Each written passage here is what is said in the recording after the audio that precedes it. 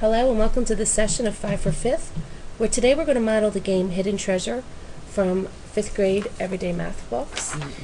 Um, it's from Unit 9, and if you're interested in the SRB, uh, you can find a really nice description on page 319 of your SRB. But when you start the game, it's going to be you against your partner, and you're going to want to put something to block your view of each other's game board. Um, file folders might work really well because they come up high and you won't be able to see across to your partner. So this is your setup of the game.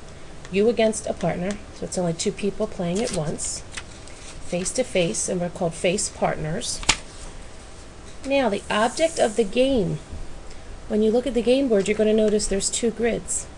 One grid is where you're going to hide a point and your partner's going to try to find your point and then the other grid is you trying to figure out where your partner's point is hidden. Now, when you think about when you were a child and you played the red light, green light game where you tried to get closer and closer to something, or hot, cold, or uh, the best example is Sink My Battleship. It's very similar to that. So we are going to begin. I'm here with my partner, and we each have our own game boards. And what we're going to do, without looking, we're each going to pick a point on our grid now, would you let, I'll guess yours first. Okay. Do you want to show everybody where your point is? I'm not going to look. No. You're not, going to show them? oh, okay. I was gonna, I'm nicer than you. Okay, here's here's the point I picked for her to try to guess mine. Now I'm going to say I'm going to take a start at 6 comma 6. So I'm going to put a mark at 6 comma 6. So it's 6 units over and up. 6 6. How many units away am I? Three units away. I'm three units away. I'm just making a note for myself so I remember that I'm three units away. Um, okay. I'm going to, and now I want to show them how I came up with the three units. Perfect. Okay.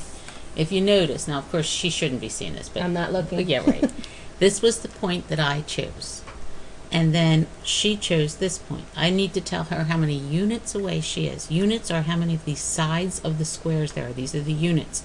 So it's one, two, three. Or if I went this way, one, two, three. Or even if you count it this way, one, two, three. It's always the same count. You just never can count over diagonal.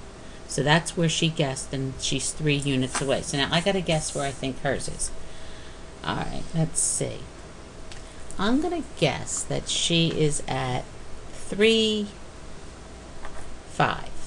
This is where I think she is. Over three, up five. Now she's going to tell me how many units away I am. So my partner guessed 3 comma 5. That lands her here. So she is one, two, three, four, five units away. Or I can go this way. One, two, three, four, five. So you are 5 units away with that guess. Right, I don't know good. what direction though. Right. now, I'm here, and I know that I'm 3 units away. I could go three this way. Hmm. I could go three up, three to the side, three down.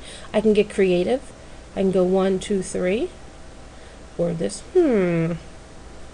I'm going to do that. I'm going to go one, two, three. Here's my second guess. Okay, what is it? Uh, is 5, comma 8. 5, comma 8.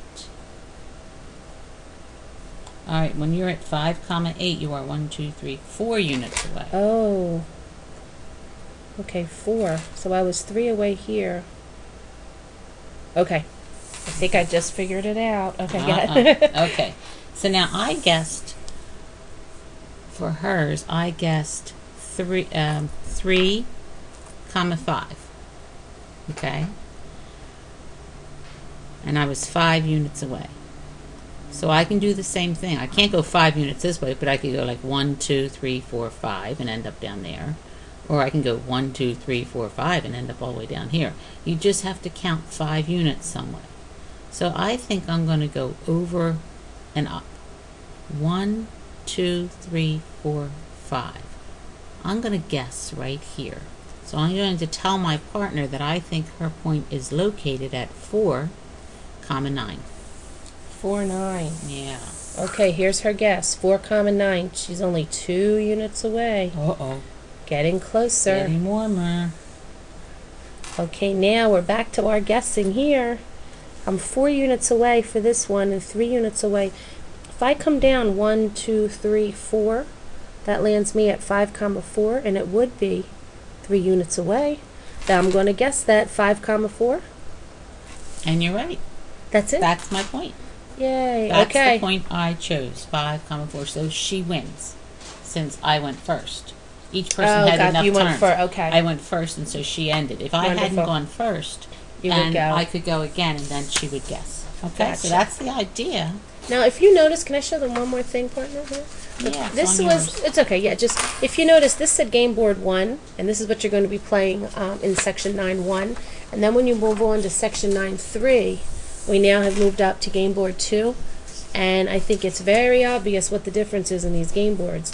These include positive and negative integers, so you're dealing with positive numbers to the right, negative numbers to the left, positive numbers going up, negative numbers going down. The procedure of the game is exactly the same. We're both going to hide a point. Okay.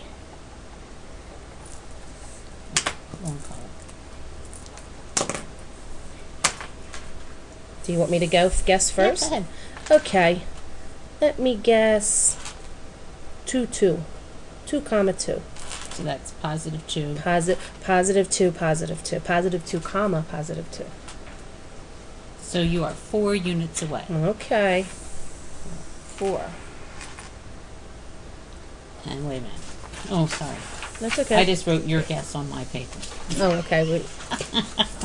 Here okay. it comes. Here it comes. Sorry, sorry, sorry. Four Sorry, units, so- back. Okay. hmm. All right, here I go. Alrighty. I'm going to guess where you are. I'm guessing that you are over three, three, comma, negative three.